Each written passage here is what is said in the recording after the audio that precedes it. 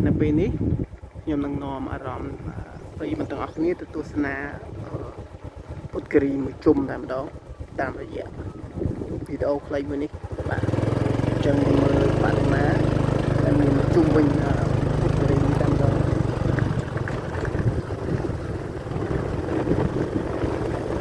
បាទខ្ញុំថតនេះគឺនៅពេលខាងលិច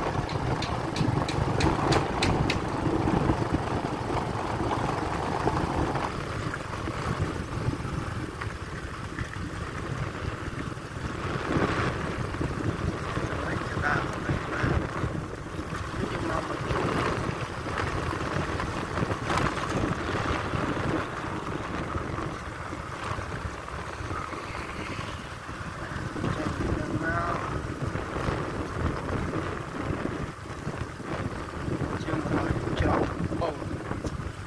នេះច ដាលដំបងចដាលដំបងមានចដាលឡើងពីរហើយមានចដាលកៅកៅតែមានផ្សេងផ្សេងៗកំពុងតែសាងសង់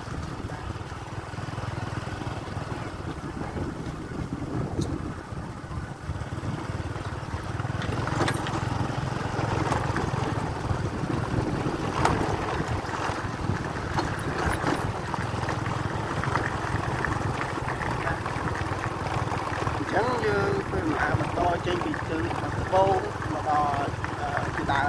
ច្រកកៅអញ្ចឹងអមជុំវិញគឺមានរូបពុទ្ធ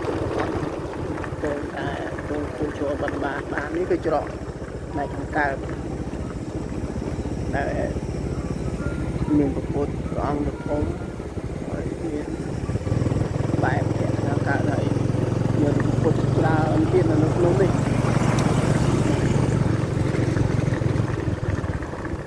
អញ្ចឹងយើងទៅបន្តជីកមើលបាទមើលសិល្បៈព្រះ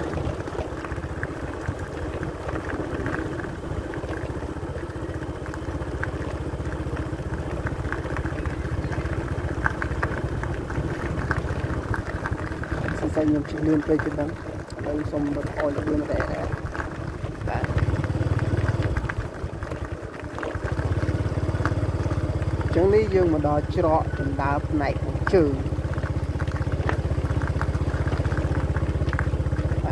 ជើងបាទតើច្រកផ្នែកខាងជើងក៏ស្អាតដែរអញ្ចឹងយើងមកផុតពីចដៅខាងជើងអឺមកគឺមានកន្លែងដែលត្រូវដាក់បដិមាថែមទៀតប៉ុន្តែនៅចន្លោះច្រើនប៉ុន្តែវាមិនច្រើនមកទេព្រោះចិត្តពេញអស់ហើយហើយអឺ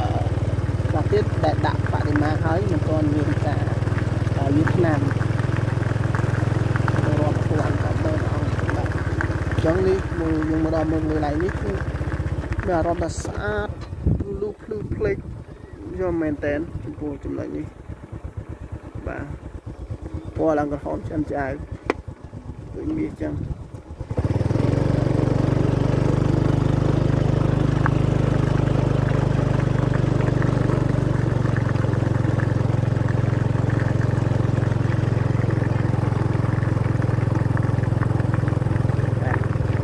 អញ្ចឹងយើងមកដល់ទីតាំងដើមវិញគម្រប់ជុំជាមើល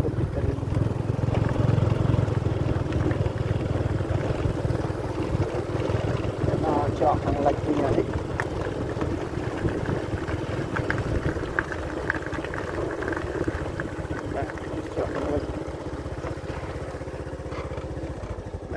số một cùng